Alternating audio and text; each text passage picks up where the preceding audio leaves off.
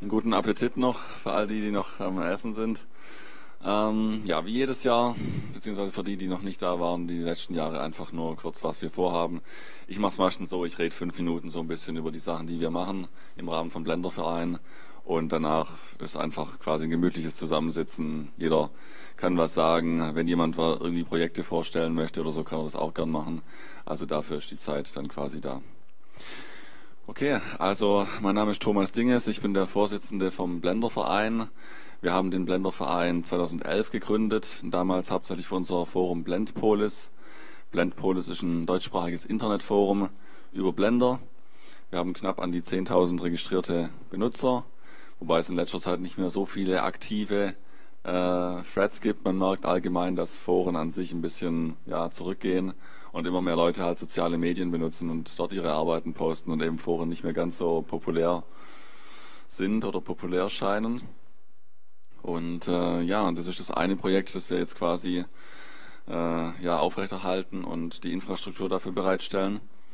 Und das andere ist der Blender Day, unser alljährliches Treffen in Deutschland. Das ist jedes Jahr eine Konferenz, an dem wir uns zwei Tage lang treffen und uns eben austauschen. Es gibt immer Vorträge, Workshops, Wettbewerbe und wir machen das Ganze jetzt seit 2009, jedes Jahr. Und äh, wir sind in Stuttgart. Also die letzten Jahre waren wir jetzt in Stuttgart.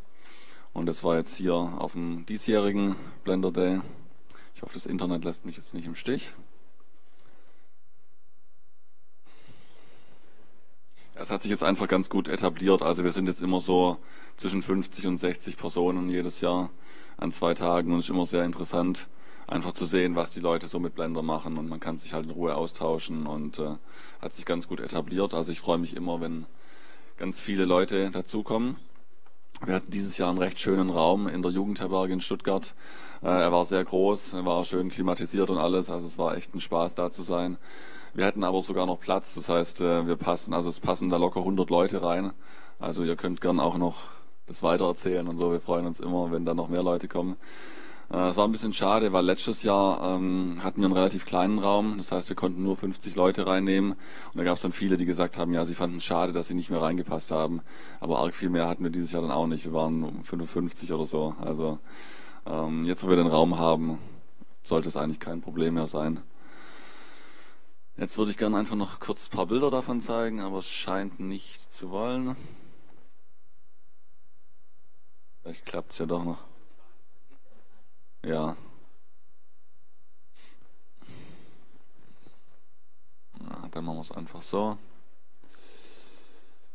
Also das, man erkennt jetzt nicht allzu viel, aber ja, wir haben jetzt hier halt einen schönen Raum gehabt und äh, viele Workshops und äh, Vorträge gehabt und äh, es ist immer eine echt schöne Sache an den zwei Tagen. Also wenn ihr wollt, nächstes Jahr wahrscheinlich im Juli wieder Ticketverkauf dann immer so zwei, drei Monate davor. Und äh, ja, also wir sind ja ein gemeinnütziger Verein, das heißt, wir decken ja quasi nur unsere Kosten vom Raum und so. Also wir waren jetzt dieses Jahr bei 25 Euro für zwei Tage. Und äh, ja, wir versuchen das auch günstig zu halten. Ja, das wäre es eigentlich so von mir. Ich möchte gar nicht mehr allzu viel dazu sagen. Deshalb würde ich jetzt einfach ja, die Runde eröffnen. Das heißt, wenn jemand irgendwie über irgendwas reden möchte, sei es jetzt Blender-Entwicklung. Ich meine, ich bin jetzt seit 2009 auch in der Blender-Entwicklung tätig. Wenn es da Fragen gibt, äh, Anregungen, wie auch immer, vielleicht möchte jemand Projekte vorstellen oder irgendwas erzählen, was er macht. Äh, vielleicht unterrichtet ja Blender jemand an der Hochschule oder so oder äh, okay, oder macht Projekte damit, die er gerne erwähnen möchte. Also ja, von daher bedanke ich mich und einfach, wer was zeigen möchte, erzählen möchte, dafür haben wir jetzt quasi Zeit.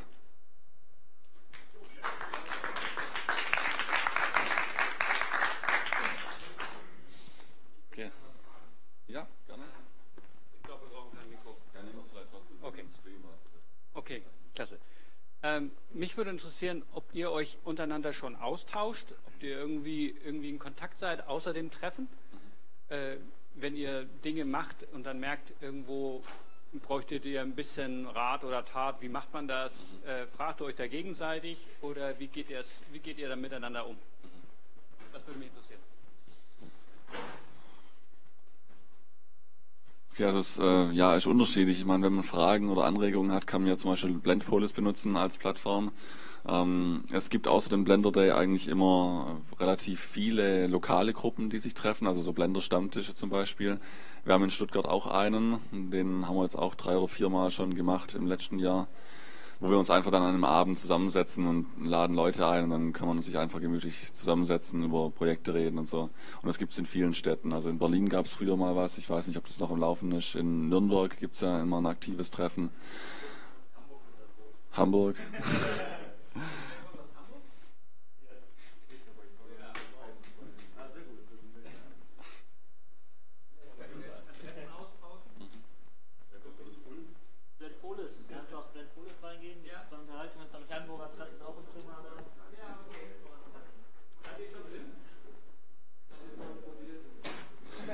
wir können vielleicht ein, ähm,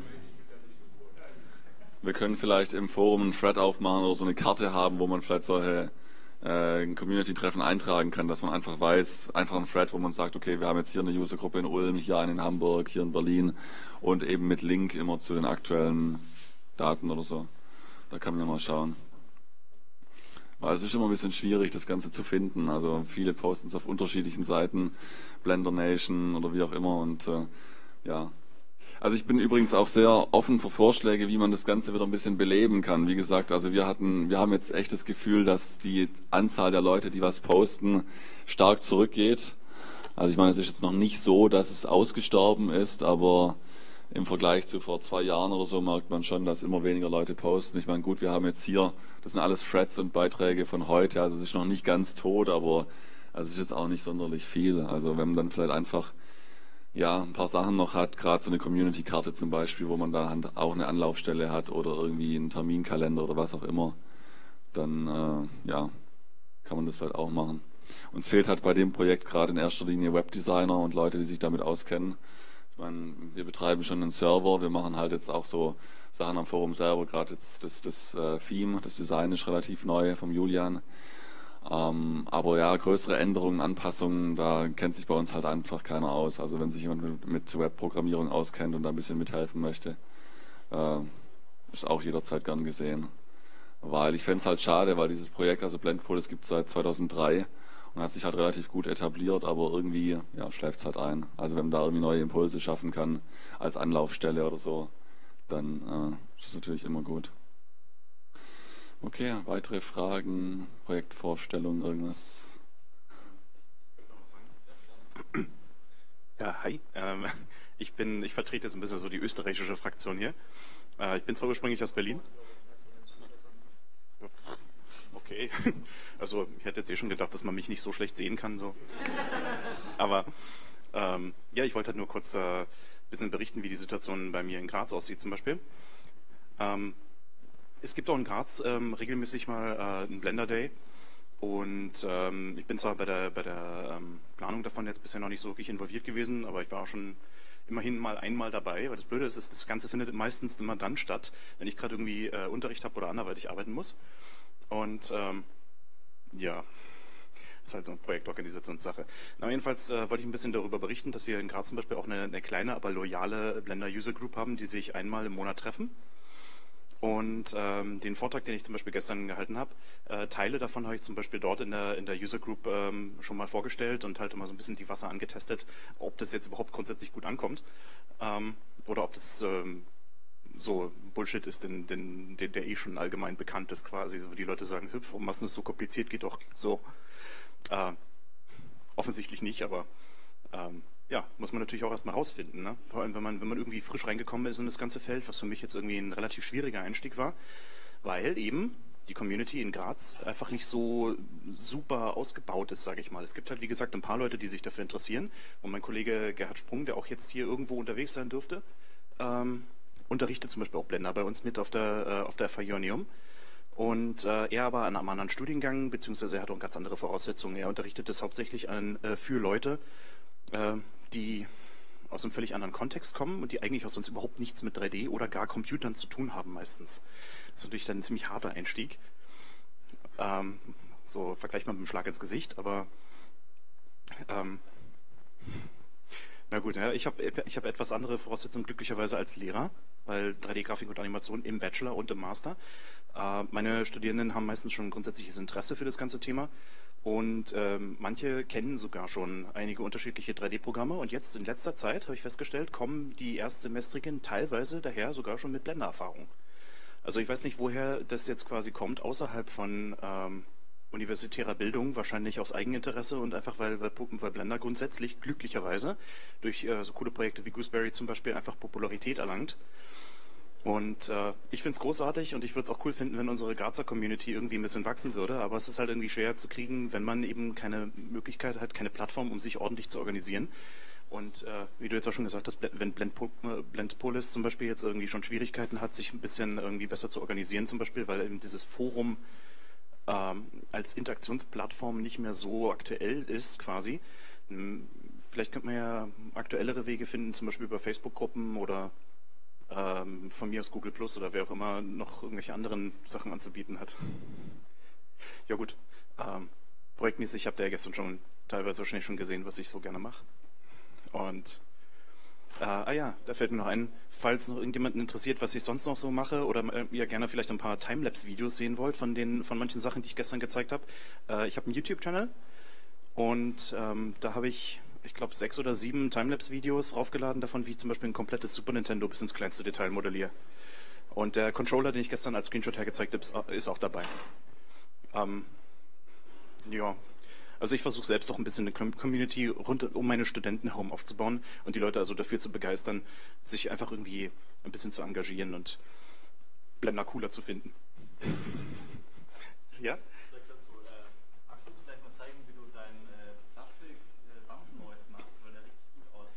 Ach so, ja klar. Ist Blender hier drauf auf dem Ding? Äh, darf ich ganz kurz was fragen? Na klar. Äh, Studenten, äh, Studenten äh, äh, selber Student. Äh, wie war das beim Curriculum, das durchzubringen, dass ihr mit Blender arbeitet und nicht mit Industriestandard?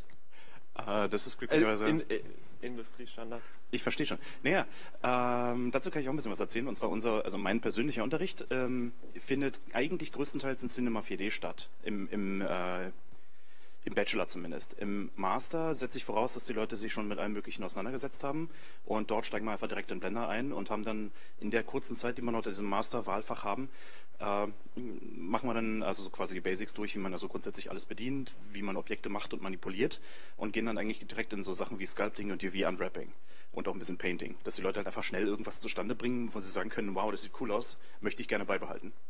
Ähm, das heißt, äh, quasi im Curriculum steht äh, Cinema 4D, weil es halt irgendwie von oben noch so mal kam. Warte, im Curriculum steht gar nicht, mit welcher ah, okay, Software das gemacht werden muss. Okay, das ist nämlich das, mein das großer wunderbar, Vorteil. Das war nämlich und ich, ich habe auch glücklicherweise, ich habe auch glücklicherweise einen, äh, einen Chef, der äh, unseren ähm, unseren Kollegen, also den Lehrenden, ähm, sehr frei überlässt, was gemacht werden soll. Und es steht im Prinzip nur da, äh, nur im Curriculum, welche Themen behandelt werden müssen, aber nicht wie. Und sehr heißt, gut für die Studenten. Äh, das ist sehr gut. Dank. Vor allem, was, was mich auch sehr freut, ist, dass ich die Chance gehabt habe, 2008 das 3D-Curriculum im Prinzip komplett neu zu erfinden. Äh, ich habe vorher ähm, genau in dem Studiengang, wo ich jetzt unterrichte, auch selber äh, studiert.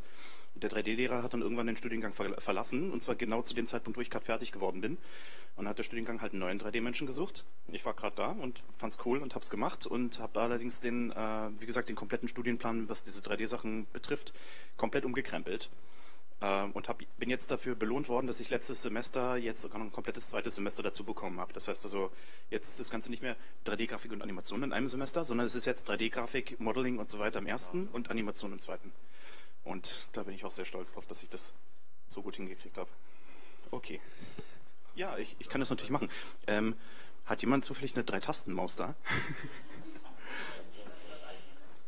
Ich muss gestehen, ähm, ich finde die Touchpad-Bedienung von Blender äh, absolut furchtbar. Und ich finde auch die, äh, die Numpad-Emulation von Blender leider furchtbar, aber was soll man auf Notebooks machen, wenn man kein, kein Numpad hat? Nee, aber ich kann das, ich kann das natürlich mal. Bitte? Ja, ich weiß nicht, nee. ich habe mir extra eine, eine Maus gekauft, die eine extra mittlere Maustaste hat neben dem Rad noch. Äh, Logitech Anywhere MX ist so ziemlich die einzige Taste auf dem ganzen Markt, die das kann.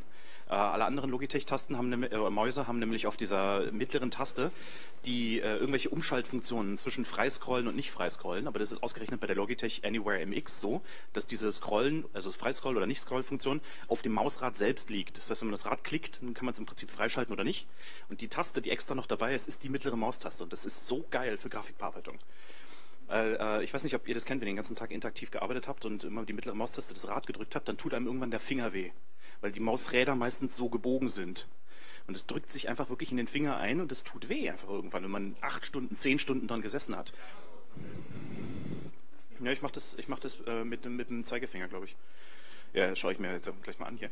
Äh, jedenfalls, ähm, deswegen habe ich mir halt extra eine Maus gekauft, die eine schöne flache Taste hat, die sich nicht in den Finger bohrt, wenn man sie den ganzen Tag drückt. Ja?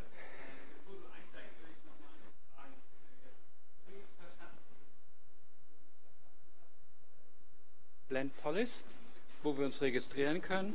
Und ansonsten würden wir über diese Plattform Kontakt aufnehmen zueinander. Wir hätten dieses Treffen in, in Stuttgart oder äh, Stuttgart. Äh, gibt es noch andere, die sich hier in diesem Raum irgendwie anders treffen und sich schon, das würde mich interessieren?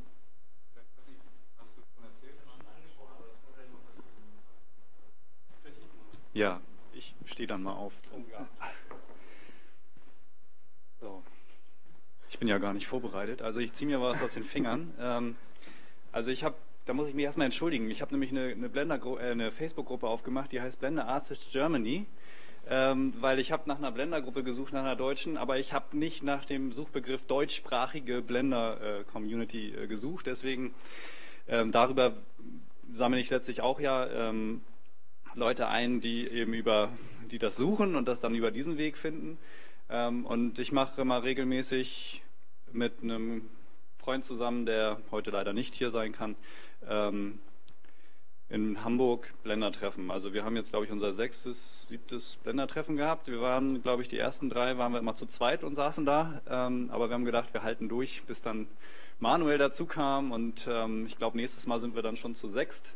Und so wächst das halt langsam. Und genau, du bist auch noch mit dabei. Hm? Was?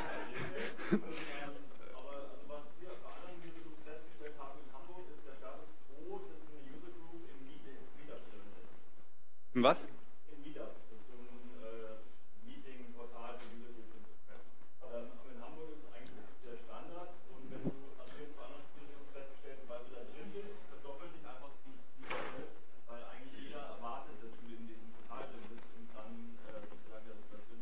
Was, was, wie heißt das? Habe ich noch. Ach so, okay.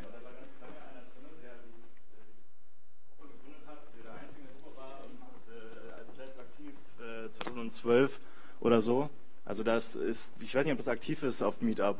Also ich hatte da auch mal geguckt und halt diesen schon gefunden, der es gegründet hatte und der hat halt nichts gemacht. So, der war alleine in seiner Gruppe drinne und hat nichts gemacht. So, äh, vielleicht, wenn wir jetzt uns alle da anmelden würden, äh, vielleicht wird es dann mehr dazukommen, ich weiß es nicht. Aber äh, auf jeden Fall, jeder, der aus Hamburg ist, ist dann herzlich eingeladen, da äh, bei uns auf, äh, in der Facebook-Gruppe beizutreten. Dann äh, kommt dann immer die Event-Einladung, wann das nächste Treffen ist, wo das ist. Äh, meistens so einmal im Monat eigentlich. Und äh,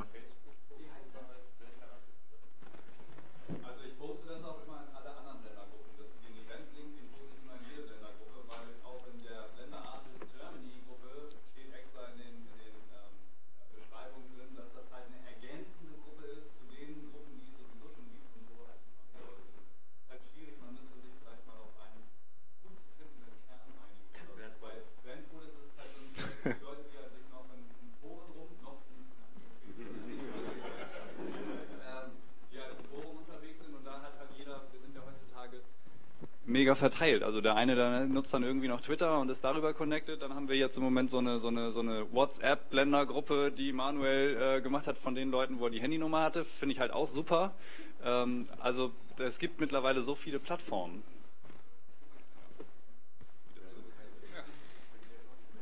Also wie heißt jetzt diese Facebook-Seite? Äh, die heißt Blender Artist Germany. Blender Artist Germany.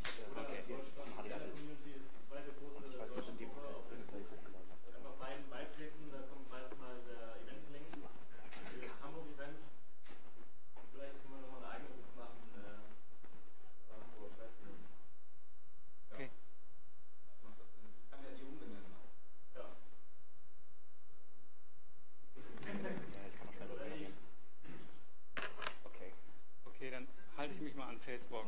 Eins kann ich noch erzählen. Ja. Ähm, achso, das habe ich ganz vergessen. Und zwar, ich arbeite bei der Deutschen Angestelltenakademie und mein Chef ist eigentlich auch relativ offen dafür. Und ich wollte auf jeden Fall auch äh, in Hamburg so eine, so eine Blender-Schulung anbieten. Also Leute, die das machen würden, die ähm, haben wir schon. Es ist einfach nur mal, um das zu streuen und zu gucken. Es kostet letztlich nichts, das einmal online zu setzen und zu gucken, wie die Resonanz ist. Ähm, ja, halt auch ein Versuch. Letztlich ist die ja auch deutschlandweit vertreten, die Deutsche Angestelltenakademie, und dann kann man halt auch sehen, ob, äh, ob da andere mit aufspringen auf diesen Zug und ob es interessant ist oder nicht. Aber genau.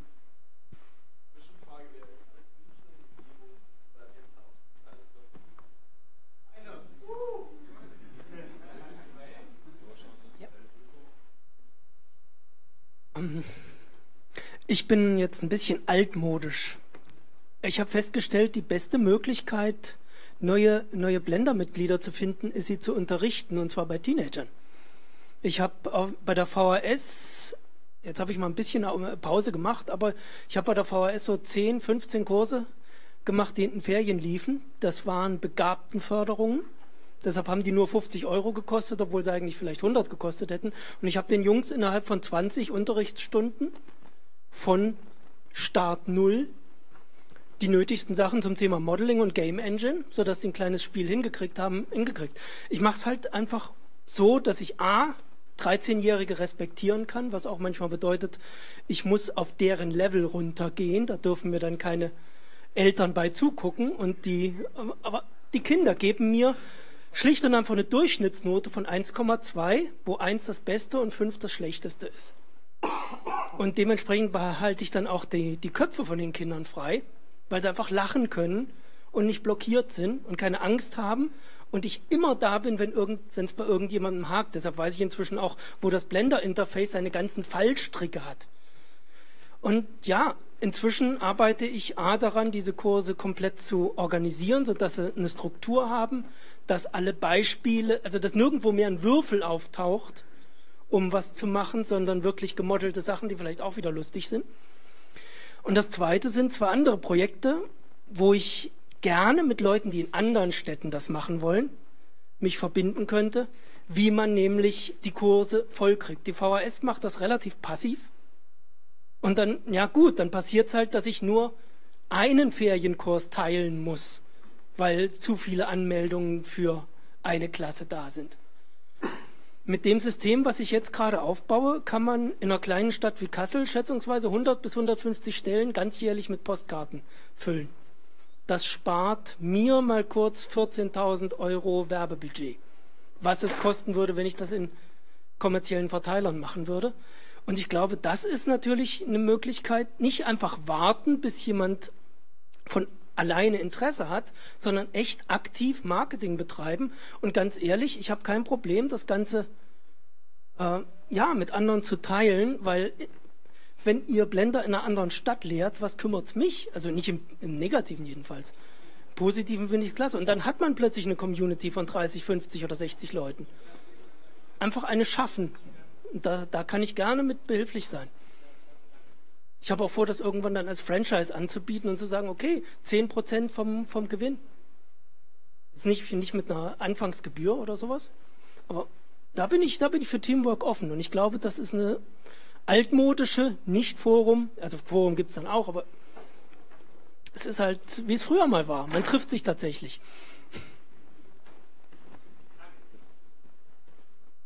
Ich bin inzwischen soweit. Ah, ich habe ja noch ein Mikrofon, mal gucken, ob das funktioniert. So, weil schließlich brauchen wir bei Blender meistens beide Hände.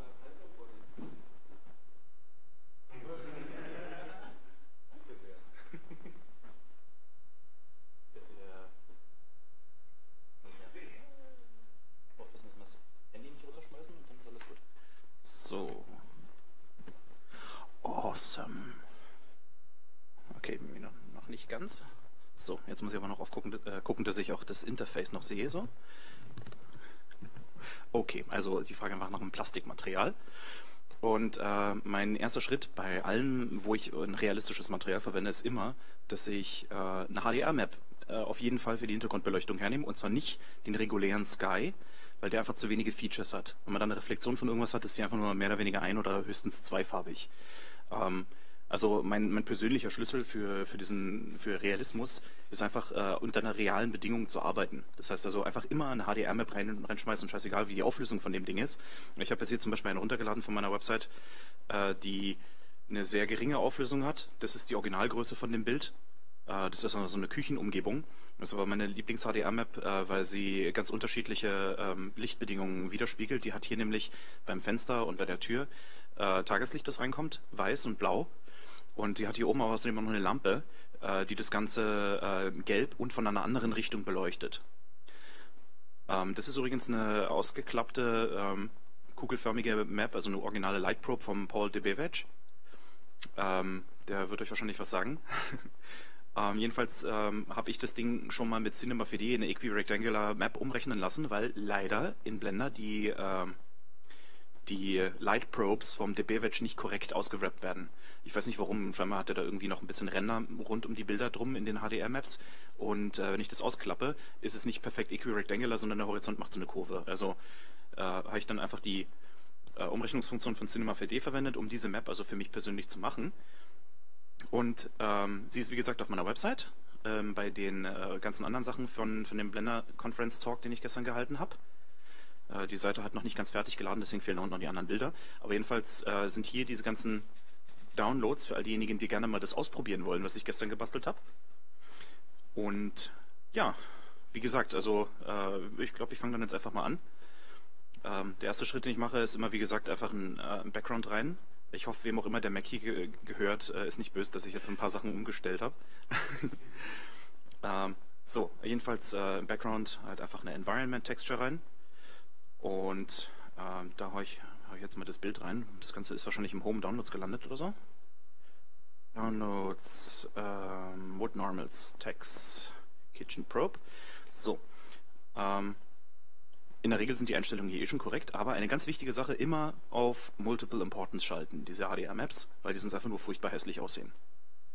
So, wenn ich das jetzt rendere, ist, das, ist diese spezifische HDR-Map immer viel zu hell, die schalte ich meistens auf 0,3 oder sowas. Und jetzt hat man hier schon, zumindest schon mal äh, ein bisschen was, dass man hier äh, sehen kann, wie diese Umgebung ist. Wie gesagt, das HDR-Bild selber im Hintergrund ist, ist, nicht besonders hochauflösend, aber das ist eigentlich scheißegal für die Lichtumgebung da. Da ist dieses äh, Dinglicht ist Deckenlicht. Und wenn ich jetzt mal nur eine, eine, einen Boden reinpacke, äh, vielleicht sollte man dieses Jahr noch mal ein bisschen kleiner machen. Ich, naja, okay. So. Was habe ich jetzt gemacht? So. So, okay, jetzt kann man hier nämlich unten nochmal auf dem Boden schon mal ein bisschen sehen, wie es mit den Schatten aussieht. Das ist auf dem Beamer zu erkennen?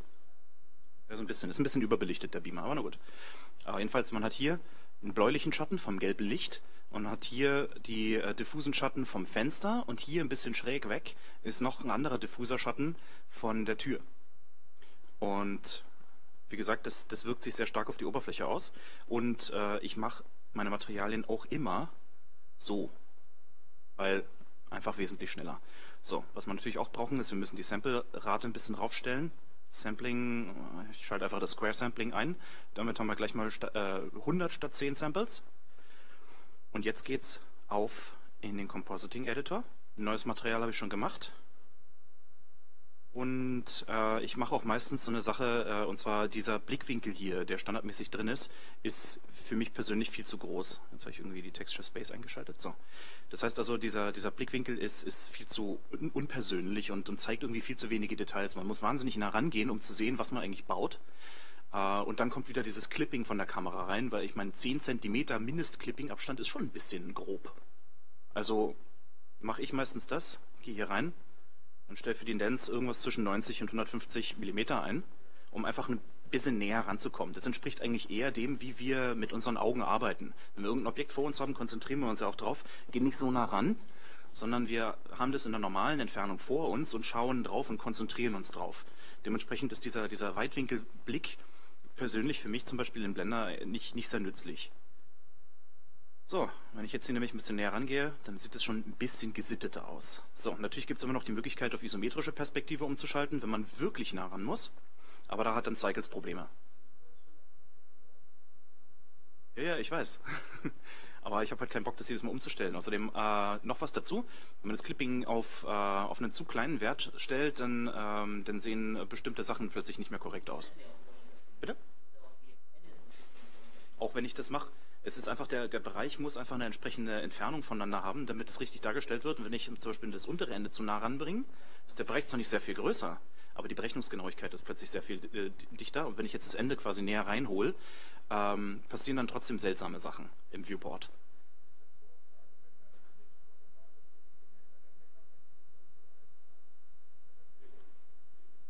Mhm. Ja. Naja, mein Gott. Ähm, ah ja,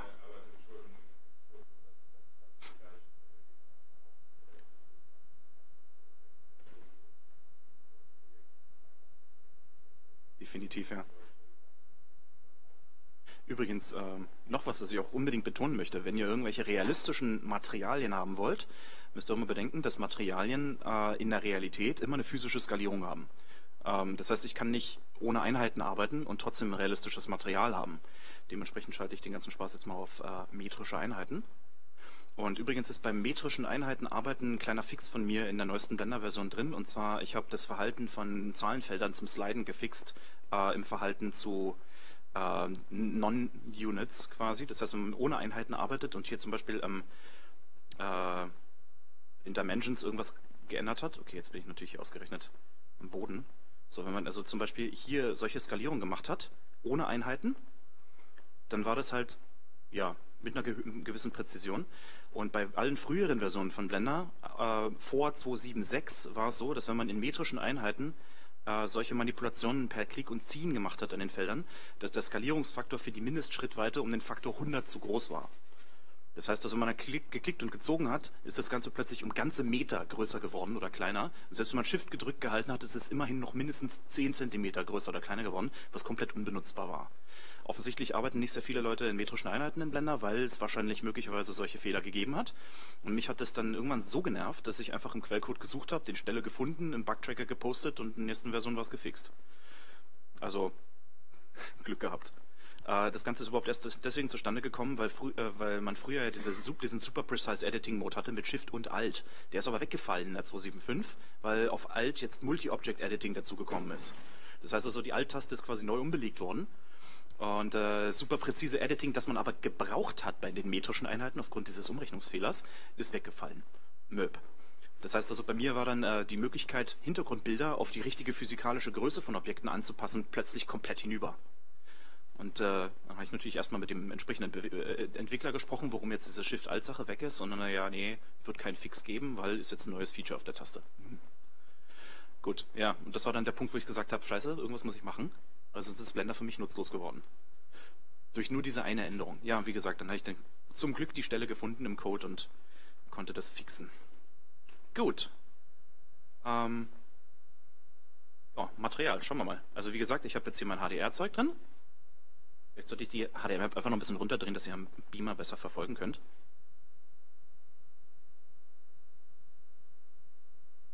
Ja, so ist halbwegs okay, glaube ich, ne? Gut. Ähm, so, das ist jetzt also meine normale Node hier für das Ganze. Und äh, machen wir mal den 3D-Cursor weg hier bei dem Ganzen. So, Display Only Render. Und ähm, ja, mein, mein Materialansatz ist immer äh, beobachten, wie die Realität funktioniert und versuchen, das so, so nah wie möglich nachzubauen. Und in dem Fall äh, bin ich dann zum Beispiel für mich persönlich auch drauf gekommen, dass eigentlich alles ein Glossy Shader ist. Scheißegal, ob es diffus ist oder nicht, es ist alles glossy. Die Menge von Roughness ist anders. Also ich würde sagen, aus äh, Rendering-Performance-technischen Gründen ist es natürlich besser, wenn man sehr hohe Roughness-Werte für irgendwas verwendet, anstatt dessen einen Diffuse-Shader zu nehmen. Und ich glaube, so ist es auch eigentlich gedacht. Ähm, aber grundsätzlich reflektiert alles und es ist immer nur die Frage davon, wie scharf oder wie, wie nicht scharf das Ganze ist. Und ich habe es auch tatsächlich schon hingekriegt, mit einem, äh, mit einem puren Reflection Shader ohne Roughness eine diffus äh, reflektierende Oberfläche hinzukriegen mit einer Bump Map. Also mit einer passend großen und passend skalierten Bumpmap exakt den richtigen, physikalisch richtigen Roughness-Effekt, der übrigens besser ausgesehen hat, als wenn man den Roughness-Shader nach oben geschoben, geschoben, gezogen hat. So. Gut, also machen wir mal den Klassiker. Mix-Shader rein in das Ganze. Schön, dass sich das jetzt Ganze auch automatisch offsettet. Diffuse und Glossy. Und ähm, wenn man jetzt nicht gerade nichts äh, Metallisches macht, bietet es sich immer an, den, äh, die Glossy Node ganz auf weiß zu schalten, damit man quasi mit dem Mix Shader hier einfach im Prinzip die, die Menge an Glossiness quasi einfach dazu rechnen oder wegrechnen kann von dem Ganzen. Und ich fange auch. Oh.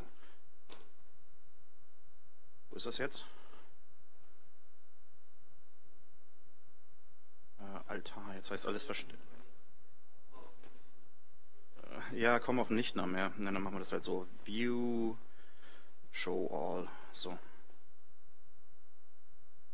Okay, there we go. Okay, also ich fange meistens mit einer, mit einer komplett glänzenden Map an, ähm, um einfach auch besser die Bumps zu beurteilen zu können und schraube dann hinterher den Diffusanteil so lange rauf, bis es cool aussieht. So, nur wie mache ich jetzt die Bump? Äh, ich schere mich bei solchen Sachen absolut nicht um UV-Maps, weil Bumps äh, bzw. Oberflächenstrukturen auch keinerlei Nähte haben auf irgendwelchen Objekten. Ich habe da stattdessen eine andere Methode entwickelt, und zwar ich nehme eine Texture Coordinate Node und verwende dann den Object Output davon. Also schauen wir mal kurz. Ähm, Texture, Noise, äh, ein Standard Noise reicht für eine normale bumpy Oberfläche, aber falls man irgendwas krasseres braucht oder so, dann kann man natürlich einen Musgrave nehmen oder so. Gut. Ähm, was mache ich als nächstes? Ich brauche unbedingt noch eine äh, Mapping Node. So. Hä? Jo, aber ist ja nicht so schlecht. Man kann ja einfach F drücken.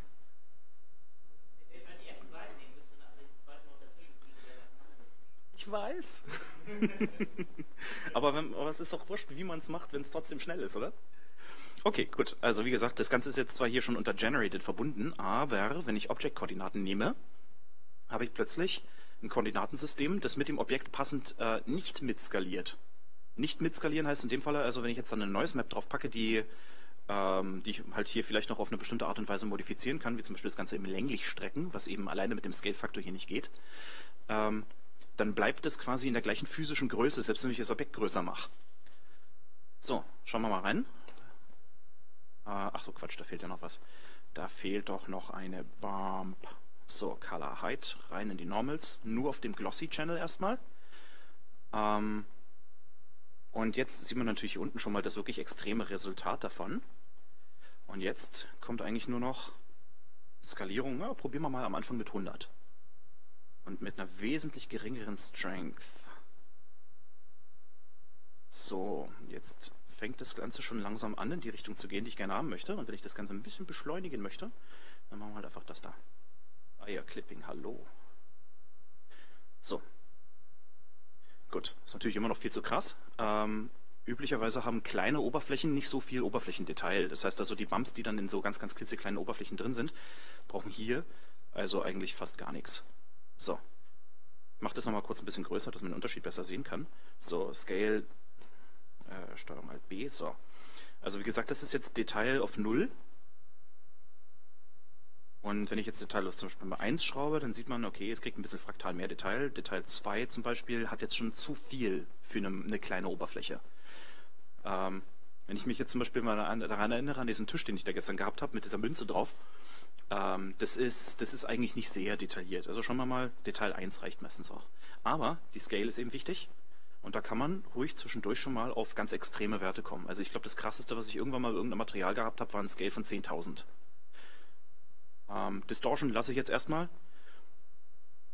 Ah, komm nicht nah genug ran. Dann machen wir halt eine 150 mm Linse. Bei 200. Dummerweise ist hier 250 das Maximum, glaube ich. Oder na, bei Kameras ist es das Maximum, aber hier kann man, glaube ich, höher gehen. So. Ähm, das ist jetzt eine Sache. Gucken wir mal, ob der Effekt von Noise, ja genau, Detail 0 ist doch besser in dem Fall, äh, da richtig hinhaut. So, und jetzt müssen wir nur noch schauen, dass wir die, die Strength so lange anpassen, bis, das, bis die Diffusität davon so ungefähr das Level hat, das wir gerne haben wollen. Glücklicherweise kann man das eben alles in Echtzeit ausprobieren. Und jetzt mache ich mal das Experiment. Ich stelle das mal auf 1000.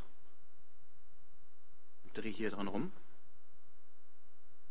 Man sieht, es ist jetzt eigentlich eine Rough-Oberfläche. Aber man kann jetzt hier eben genau das gleiche machen wie mit dem Roughness Shader, nur dass das jetzt hier wirklich physikalisch akkurat ist, im Gegensatz zu dem Roughness Regler, den man bei einem Glossy Material hat. Äh, der Unterschied wird dann sichtbar, wenn man, wenn man spezifische Lichtformen hat ähm, oder, oder besser gesagt bestimmte Schatten- oder Reflexionsformen. Ich habe das mal ausprobiert mit einem Tischbein, das auf dem Tisch gestanden hat. Die Reflexion davon ist unten im Prinzip, bei, wenn man nur den Roughness-Regler verwendet hat, im Prinzip einfach linear, einfach immer ein bisschen größer geworden. Aber das ist in der Realität nicht so. Ich habe es einfach mit dem Foto verglichen. In der Realität macht es meistens so eine leichte Kurve nach außen. Und das macht das jetzt. Ach, na ist doch schön. Gut, Scale wieder auf sagen wir mal 100 oder vielleicht 200, je nachdem, was man für eine Plastikoberfläche simulieren möchte.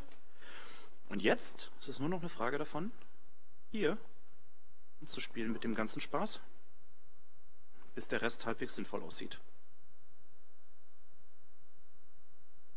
So. Äh, das ist jetzt natürlich eine 100% saubere Oberfläche. Und äh, in der Regel sind Oberflächen nie 100% sauber sondern sie haben an bestimmten Kanten und, und Ecken und vielleicht in irgendwelchen Ritzen oder sowas einfach irgendwelche Dreck- oder Staubablagerungen. Und jetzt ist natürlich die Frage, äh, ob man das gerne auf seinem Modell haben möchte oder ob man auf so klinisch, klinisch reine, saubere Renderings steht.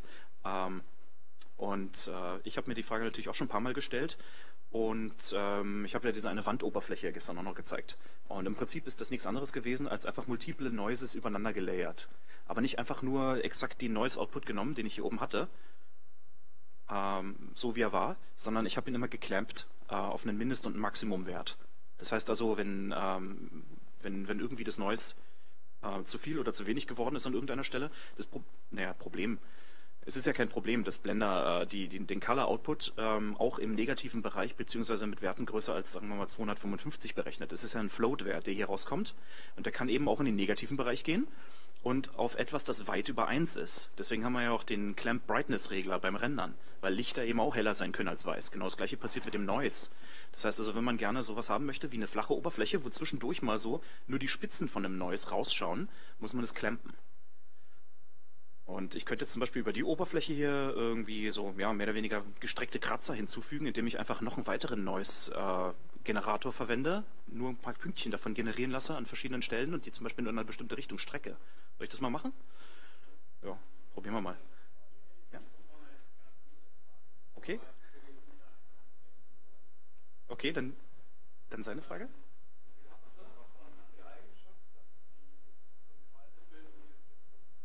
Hm? Ja, und zwar muss nur äh, eine Helligkeitskurve im Prinzip verwenden, rund um die, äh, um die Bumps, die man schon generiert hat. Das heißt also, man, man kommt ja, also wenn man eine Bumpmap generiert, dann ist das im Prinzip halt einfach irgendwie so, wenn man von der Seite gesehen, so ein Profil. Wenn man das clampt, heißt das, also man hat irgendwo eine flache Area und dann tauchen dort vielleicht noch die Hügel aus dem Ganzen auf. Und das sind ja im Prinzip auch nochmal Helligkeitswerte, die nochmal ein Stückchen heller und wieder, wieder dunkler werden. Wenn man da zum Beispiel eine Helligkeitskurve drüber legt, die äh, so ein Profil haben, dass man im Prinzip äh, kurz vorher nochmal ähm, einen Knick nach oben macht und dann wieder in der Mitte, da wo es noch heller wird, im Prinzip wieder runterdrückt, dann hat man genau den Effekt. Ähm, ich ich habe auch vor kurzem erst diesen, diese Research gesehen, äh, dieses eine Video, wo sie analysiert haben, wie ein Kratzer eigentlich mikroskopisch aussieht. Im Prinzip ist das ja nicht Material wegnehmen, sondern ist ja Material verdrängen. Und es baut sich halt neben dem Kratzer auf. Ist klar. Ähm, aber ich halte dagegen, äh, das ist nur dann sichtbar, wenn man wirklich, äh, wenn man wirklich extrem nah rangeht, weil glücklicherweise ist es mit dem Bump-Effekt hier durch Interpolation nämlich schon sehr ähnlich. Genau, ja. Ich meine, anisotrophische, äh, anisotrophische Renderer sind, sind ja im Prinzip genau das Gleiche. Mhm. Wir können es ja mal probieren. Also ich, ähm, oder so?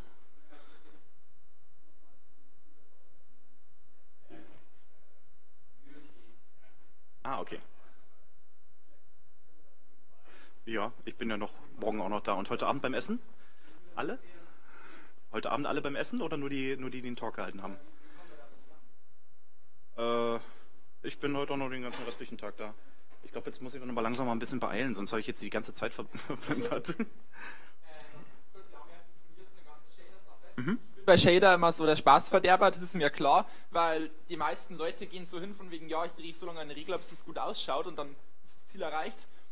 Aber ich würde sagen, also grundsätzlich würde ich der Behauptung widersprechen, dass es so physikalisch korrekter ist, als das Ganze per Roughness zu machen. Nee, es, es schaut besser aus, klar, aber Bump Maps sind eigentlich immer so ein kleiner Hack. Also theoretisch ja, eigentlich korrekter wäre das Ganze über den Roughness Shader zu machen. Wenn es so besser ausschaut, klar, in der Praxis soll es jeder machen, wie er mag, aber die Behauptung ist physikalisch korrekter und äh, es sieht, es sieht, es, ich sag mal so, äh, ist natürlich richtig, der Punkt, dass, äh, dass es nicht wirklich physikalisch korrekter ist, weil die Bump-Map selbst ist ja schon nicht physikalisch korrekt. Ja. Ähm, eine Normal-Map wäre vielleicht noch besser, aber äh, nur eine, die man noch tatsächlich gemessen hat. Mhm. Also sprich eine, die man rekonstruiert hat von Fotos. Aber, ja, allgemein ähm, diese ganzen Tricks mit, ich spiele an meiner Oberfläche normale rum, das ist alles irgendwie... Ja, na klar. Aber wir haben halt nicht unendlich viel Rechenressourcen, um die Oberfläche tatsächlich zu displacen. Ne? Äh, und bei dem Mix, bei dem Mix-Shader würde ich wirklich sagen, Fresnel verwenden. Ne? Diese Standardeinstellung, das ist irgendwie. Welchen Shader? Äh, Fresnel Node für den Faktor so. bei der Mischung. Ja. Ist, ist wahrscheinlich die bessere Variante, ja. Äh, ja, wir sind überhaupt gegangen, das ist physikalisch korrekter. So. Ja, ja. Das mag besser ausschauen.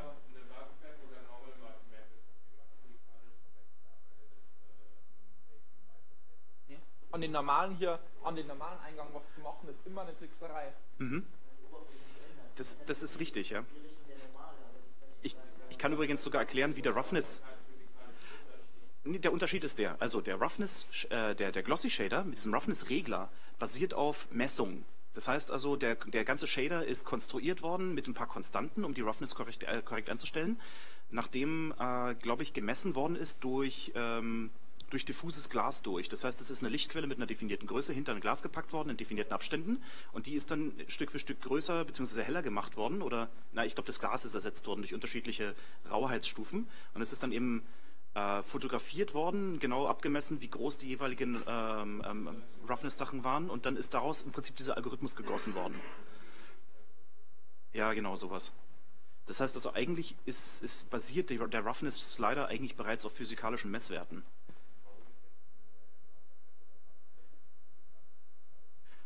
Weil die nur, weil, weil, die nicht tatsächlich die Oberfläche verformen, sondern nur mit ein bisschen Trickserei das Shading verändern, sodass es aussieht als ob.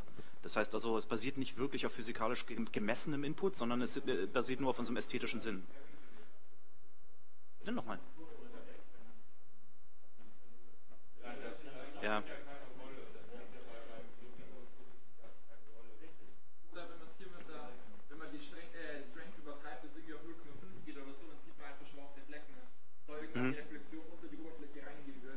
Genau, ja, es wird einfach falsch berechnet. Ja.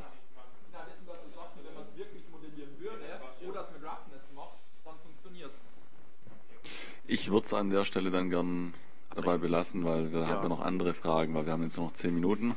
Ähm, vielleicht, falls du noch irgendwie kurz was sagen möchtest oder was ergänzen, noch ganz Nö. kurz.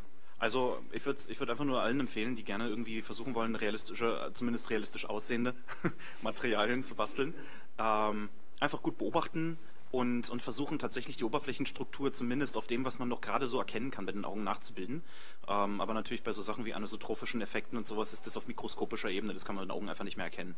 Aber ähm, ich würde zum Beispiel auch sagen, wenn man selbst irgendwelche makroskopischen Materialien hat, wie zum Beispiel hier, keine Ahnung, die, die Wand oder sowas, äh, kann man ja mal versuchen, die, ähm, oder sagen wir mal hier dieses gestrichene Holz, weil da ist eine schöne Oberflächenstruktur sichtbar. Ähm, da kann man äh, vielleicht auch einfach mal versuchen, den physikalischen Entstehungsprozess davon nachzuvollziehen. Irgendjemand ist dort mit dem Pinsel drüber gegangen und hat meistens diese Bewegung gemacht. Dementsprechend hat die getrocknete Farbe auch meistens vertikale Streifen.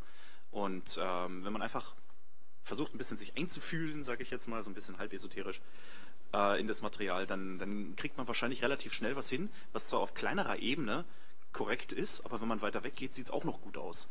Meistens ist es so, dass, es, dass man es irgendwie macht aus, einem, aus, einer weiten Entfernung heraus und dann geht man nah ran und stellt fest, irgendwie ist da kein Neues mehr drin. Äh, beziehungsweise kein, keine, keine weitere Struktur, wenn man die irgendwie auf einer anderen Ebene gefaked hat. Und äh, ich habe da auch so eine, so eine Überlegung bei mir. Äh, und zwar habe ich auch überlegt, ob ich nicht vielleicht das als Talk nehmen soll, und zwar visuell stabiles Rauschen. Äh, visuell stabil in können, dem Sinne. Können wir das äh, so. Beta? Das wäre echt klasse, dass ich zwei Fragen noch stellen kann. Achso, ja, na klar. Ich, und, ansonsten räume ich einfach das Feld. Dann könnt ihr auch gerne einsteigen in, in irgendwelche Grundlagendiskussionen. Also, die, die, die Frage ist für mich, äh, gibt es, ist jemand in der Blender, im Blender Network von, von dieser Gruppe? Okay, das sind ungefähr fünf. Äh, habt, Entschuldigung, fünf, sechs, so. Äh, habt ihr schon in Aufträgen zusammengearbeitet? Wie findet ihr euch oder spielt ihr euch die Aufträge so ein bisschen zu, wenn ihr irgendwo an Grenzen kommt? Fragt ihr euch gegenseitig? Arbeitet ihr zusammen so oder alles Einzelkämpfer?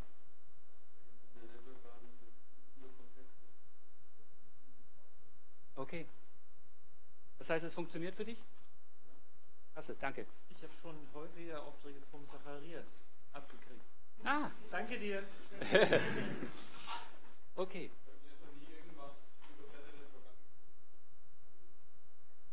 Das heißt,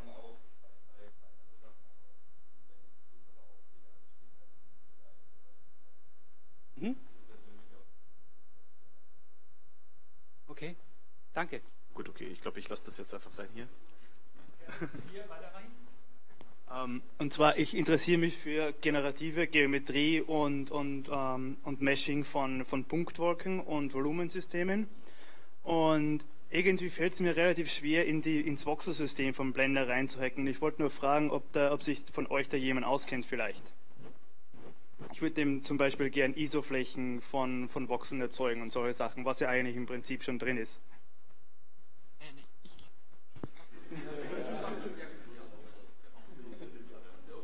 Gut, also bin ich zumindest nicht alleine. Das läuft auf OpenVDB und sowas raus. Äh, Ja, also das wird es jetzt wird noch gebastelt, aber jetzt irgendwie, dass man sagt, ja, nächstes Release ist es fertig, ist nichts abzusehen. Ich würde auch gerne mitbasteln. Also wenn ich weiß, an, an wen ich mich wenden kann, dann, dann bringe ich mich auch gerne ein. Äh, wenn der Developer IRC Kevin Dietrich, äh, nennt sich der. Okay. Der ist auch im, im Bugtracker drin unter developer.blender.org. Einfach danach Kevin Dietrich suchen. Der arbeitet gerade an dem OpenVDB. Ja. Genau, und vor allem gibt es ja Dual Meshing jetzt auch mit drinnen. Und, Ja. Okay, wir haben noch sieben Minuten. Noch irgendwelche Fragen, andere Themen, irgendwas, was noch kurz, was ihr noch kurz erwähnen wollt? Also so wie ich es verstanden habe, seid ihr alle in Facebook und ihr findet euch dann gegenseitig irgendwie so oder? Äh, ich gehe immer zum Blender-Meeting in Nürnberg zum Beispiel. Ist jemand anders aus Nürnberg noch da? Ne? Aber das sind immer. ist oben und arbeitet. Ja, habe ich habe ich vorher schon getroffen. Äh, sind auch immer so 15, 20 Leute, also das ist eine ganze Menge jedes Monat. Nürnberg und Stuttgart weiß ich jetzt. Und Hamburg.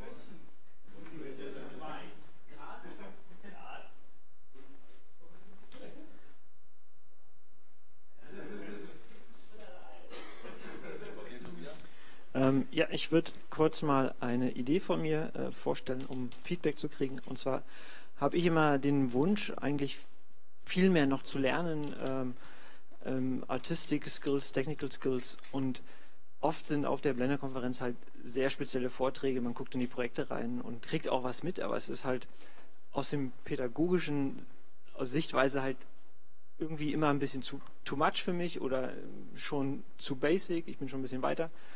Und deswegen habe ich mal überlegt, ob man ähm, mal eine Blender School macht in Deutschland, wo man einfach fünf Tage hat. Am Tag 1 sind die absoluten Beginner-Sachen, am Tag 5 die absoluten Pro-Sachen. Und ähm, über einen webbasierten Einstufungstest kann jeder gucken, ab welchem Tag macht es für mich Sinn, da mitzumachen. Und dann kann man sich eben, wenn man Bock hat, einen Tag äh, in die Kurse setzen oder zwei Tage in die Kurse setzen oder auch drei Tage ähm, sodass man also genau da abgeholt wird, wo man gerade steht ne? und dadurch also auch das Feedback kriegt und an der Situation das Maximale vom Lernen her mitnimmt. Und ähm, meine Frage ist, bin ich der Einzige, der Interesse daran hat oder gibt es noch wer, der sich sowas vorstellen könnte, wenn in Deutschland eine Summer School mal veranstaltet wird, da mitzumachen? Wer hätte da Interesse? Ähm, okay, äh, ich frage erstmal als Teilnehmer, wer hätte Interesse als Teilnehmer an der Summer School zu machen, wo man quasi ganz genau weiß, okay, hier kann ich genau an dem Punkt weitermachen, wo mein Wissen ist und kriege dann das Input von den Profis. Ne? Also ich habe dann Profi-Speaker, also mal kurz Bescheid sagen. Okay, danke. Also die äh, Idee ist erstmal nur in meinem Kopf. Ich habe auch schon mit vielen Leuten darüber gesprochen. Wir haben jetzt ja ungefähr so 30 Prozent der Leute, die sich gemeldet haben.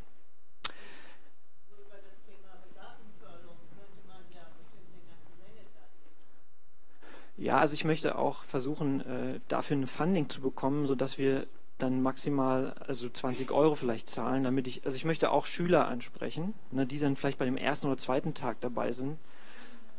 Und ähm, genau, also ich, wer Bock hat, das mit mir zu organisieren, der soll sich bei mir melden. Ja, okay.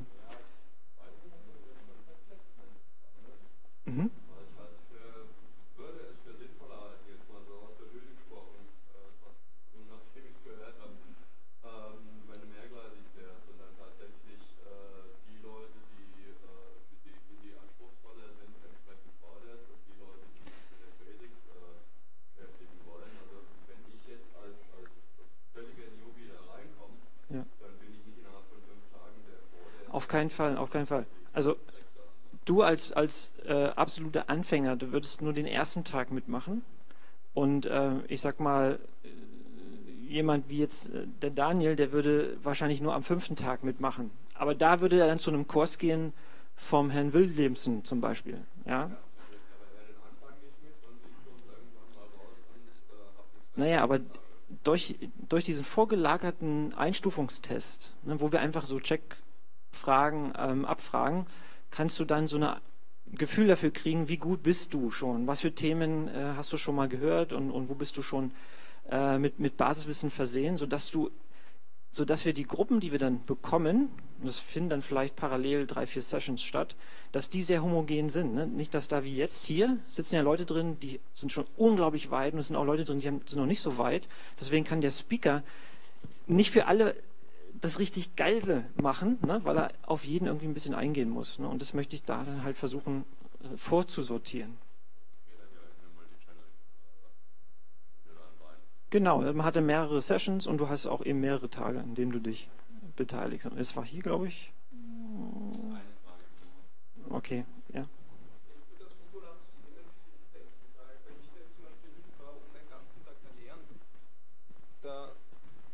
Da habe ich jetzt zum Beispiel nicht so wirklich viel gelernt, wenn ich jetzt acht Stunden dort sitzen muss. Es wäre besser, wenn das auf die Woche aufgeteilt ist und auf Einheiten, damit ich zum Beispiel das Lernen selber ausprobiere und dann am nächsten Tag komme, okay, das habe ich gelernt und das ist, da habe ich die Fragen dazu. Und jeder hat eine ganze Woche Zeit dafür oder das gegebenenfalls noch? Ja, aber das Blöde ist, wenn ich ein Anfänger bin, komme ich am Montag. Rest der Woche ist nicht für mich und ja ich, ich lerne alles am Montag, ja. dann probiere ich selber aus, habe dann Fragen. Ja, ja.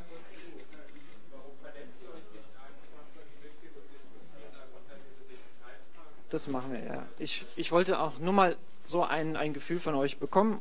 Deswegen vielen Dank für eure Beteiligung. Äh, äh, eine, eine kurze Anmerkung von mir noch, keine Sorge, keine Grundsatzdiskussion wieder. Falls irgendwer äh, Interesse hätte, Cycles Features ausprobieren, irgendwelche Bastelsachen und kein Problem damit hat, wenn Blender auch mal abstürzt. Ich hätte auf Blender Artist ein Testbild, wäre cool, wenn das irgendwelche Leute ausprobieren könnten. Vor allem so Sachen wie IES Lite oder irgendwelche Tone Mapping Sachen. Einfach, falls irgendwer mag, mal drüber schauen. Im Titel steht 274, es ist aber inzwischen 276.